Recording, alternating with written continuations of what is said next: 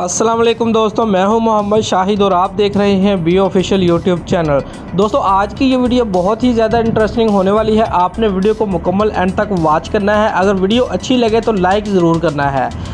दोस्तों, आइंदा चंद माह के दौरान दुनिया क्रिकेट की चार बड़ी टीमों के दौरा पाकिस्तान का बहुत ही ज़्यादा इम्कान है। एम डी वसीम खान का कहना है कि पुर उम्मीद है कि अगले बीस माह के दौरान ऑस्ट्रेलिया, न्यूजीलैंड, इंग्लैंड और जनूबी अफ्रीका की क्रिकेट टीमें पाकिस्तान का दौरा करेंगी। तफसीलात के मुताबिक, आइंदा चंद माह के दौरान पाकिस्तान में बैन अवी क्रिकेट की मुकम्मल वापसी का इम्कान ज़ाहिर किया जा रहा है। सबसे पहले जनूबी अफ्रीका की क्रिकेट टीम पाकिस्तान का दौरा करेगी।